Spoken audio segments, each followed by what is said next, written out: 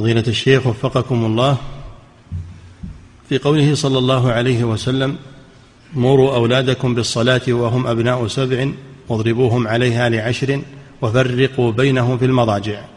هل التفريق بين الأولاد في المضاجع يكون إذا بلغ كل المفرق بينهم عشر سنوات أم يكفي أن يبلغ أحدهم؟